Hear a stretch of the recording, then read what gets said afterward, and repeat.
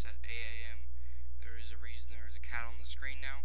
It's just so I can keep on talking without it without it not stop without it stop recording. Anyways, that little video of Steve you saw.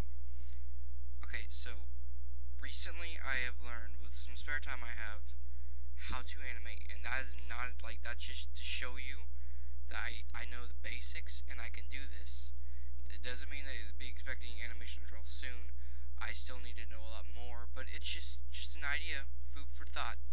Um, thanks for watching. Um, uh, comment, etc. I'm sure you all know this.